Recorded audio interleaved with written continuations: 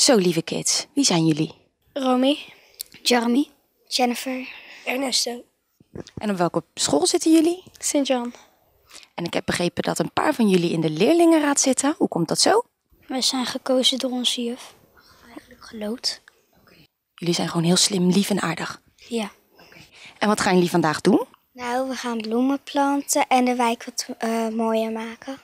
Oké, en hoe gaan jullie dat doen? Door plantjes te planten. En hoe nog meer? Door de wijk te laten helpen. En doen jullie dat samen of doen jullie dat ook nog met papa's en mama's of andere mensen? Ook een beetje met papa en mama's. Succes vandaag! Vanaf vandaag zijn er tuinvrouwen en tuinmannen aan het werk in Oost. Eh, wat doen die mensen precies? Nee, die zijn van eh, creatief beheer, zoals we dat noemen.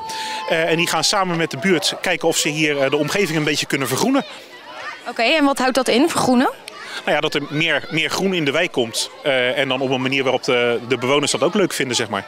Waarom is dat zo nodig in Oost? Nou ja, weet je, als je, als je hier om je heen kijkt, dan zie je dat Oost een hartstikke mooie wijk is. Maar dat er op sommige plekken gewoon een beetje groen bij kan. En ja, wat is nou nog mooier om dat te doen door er, eh, de buurtbewoners erbij te betrekken? Nou, we zien het hier achter ons gebeuren. Hè. Eh, kinderen van eh, de, de Sint-Jan, die zijn heel druk bezig met het planten van de eerste plantjes. En nou, dat ziet eruit als een vrolijke boel. En ondanks het weer, want nou ja, kijk maar om je heen, het is echt verschrikkelijk, hebben ze er ontzettend veel zin in.